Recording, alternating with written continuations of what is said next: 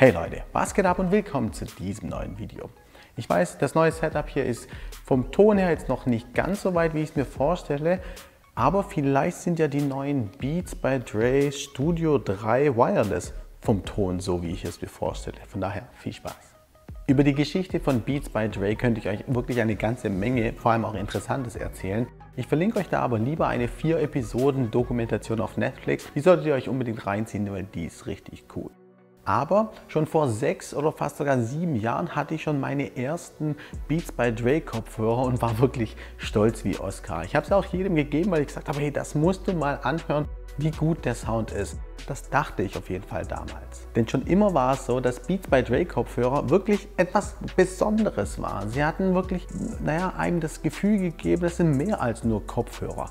Und heute ist die Firma mittlerweile schon 10 Jahre alt und hat fürs Jubiläum natürlich eine besondere 10 Year Special Edition rausgebracht. Das merkt man aber auch an den Details. Naja, Beats war eigentlich schon immer eine Firma, die Wert auf Details gelegt hat. Das merkt man auch bei der Unboxing Experience. Ich kann mich an keinerlei Kopfhörer erinnern, die tatsächlich dafür gesorgt haben, dass schon beim Auspacken eine Art besonderes Gefühl dann auch irgendwie vermittelt wurde. Besonders finde ich übrigens auch das Zubehör. Man bekommt einen Karabiner, warum auch immer, den habe ich noch nie genutzt.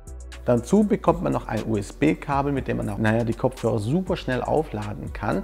Außerdem noch diese richtig Beat-typischen rotfarbenen Klinkenkabel. Und für die Jubiläums Edition gibt es natürlich ein paar Eingravierungen hier, ein bisschen extrem hochwertige Verarbeitung. Vor allem auch das Case fühlt sich richtig gut an. Naja, eben das i-Tüpfelchen, um aus der Masse irgendwie hervorzustechen. Was aber unverändert blieb, und das finde ich eigentlich richtig gut, ist die Tatsache, wie intensiv der Bass dann bei den Kopfhörern drückt. Und deswegen war eigentlich auch der Sound schon immer etwas Besonderes, vor allem was naja, der Bass angeht. Mir gefällt die Tatsache, weil ich schon sehr stark beatlastige Musik höre, vor allem auch Hip-Hop und House. Und da kommen natürlich diese Kopfhörer richtig stark zur Geltung. Ansonsten muss man aber auch erwähnen, dass die Studio 3 Wireless im Gegensatz zu den Vorgängern, naja, wirklich viel voluminöser klingen und viel besser klingen.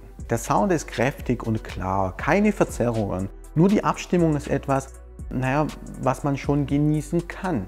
Ich glaube zwar nicht, dass klassische Musik oder vor allem auch Rockmusik jetzt mit den Beats-Kopfhörern ja, wirklich zur Geltung kommen, aber das ist auch nicht die Musik, die ich beispielsweise höre. Von daher passt es ja eigentlich. Außerdem ist zwar das Noise Cancelling deutlich besser geworden als zu den Vorgängermodellen, aber im Vergleich beispielsweise zu den Bose Quiet Comfort 35, die ich auch habe, ist das jetzt auch nicht so das allerbeste.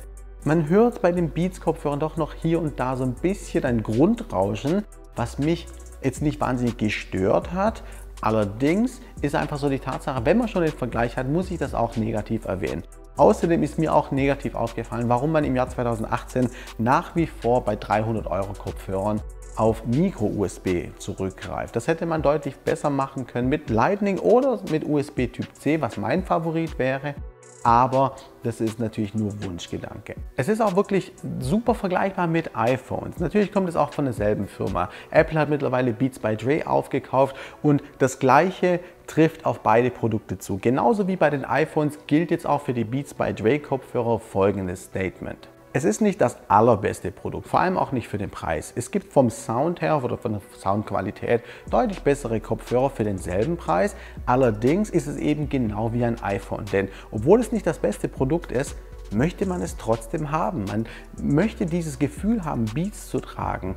Und es ist einfach mehr als nur ein paar Kopfhörer. Man bekommt ein richtiges Statement damit vermittelt. Und das ist, trifft genauso auf die iPhones zu. Denn wenn man es hat, hat man auf jeden Fall keinen Fehlkauf. Denn alle werden es akzeptieren, denn dafür sind sie einfach dann doch zu gut. Fazit. Beats by Dre sind auf jeden Fall ihr Geld wert. Es ist eine ganze Menge Geld und man bezahlt eigentlich nicht nur den Sound. Wenn man Beats by Dre Kopfhörer haben möchte, ist das eigentlich auch ein Statement. Es sind nicht die allerbesten Kopfhörer, die man für das Geld bekommt. Allerdings muss ich schon auch zugeben, dass das Design extrem cool ist und naja, es ist halt wie bei den meisten Menschen auch. Wenn man ein gutes Handy möchte, kauft man automatisch ein iPhone Und naja, es gibt bessere Smartphones für das Geld und genauso ist es bei den Kopfhörern auch. Es gibt deutlich bessere, allerdings sind sie auf jeden Fall in den Top 3, vielleicht in den Top 2 Kopfhörern, die es in dem Preissegment gibt. Ich finde es auf jeden Fall so cool, dass ich sie gerne getragen habe. Allerdings greife ich dann doch lieber zurück auf meine